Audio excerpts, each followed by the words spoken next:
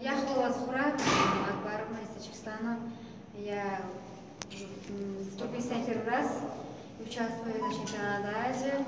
Здесь очень красиво, очень мне понравилось. Я сама выступала здесь по виду кикла лоу-кик в ринге. И мои соперники были из Малайзии, Киргизии и Макао. И в финале, который я выступала с Макао, том году на чемпионат Азии, Азиатских играх, я с ней вышла в финале. И я выиграла, там стала чемпионкой Азии. И здесь тоже я встретилась с ней в финале. Я заново снова стала чемпионкой Азии по кикбоксингу.